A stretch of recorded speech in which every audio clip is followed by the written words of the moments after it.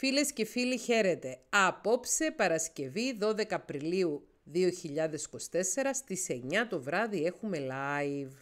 Στην κοινότητα, στην καρτέλα κοινότητα έχουμε κάνει μια δημοσκόπηση σε σχέση με το πώς βλέπουμε εμείς ήδη τον εαυτό μας και τη γονεϊκότητα. Αν έχουμε αποφασίσει να κάνουμε παιδιά ή όχι και πώς νιώθουμε όσοι δεν έχουμε κάνει παιδιά ή όσοι έχουμε κάνει παιδιά.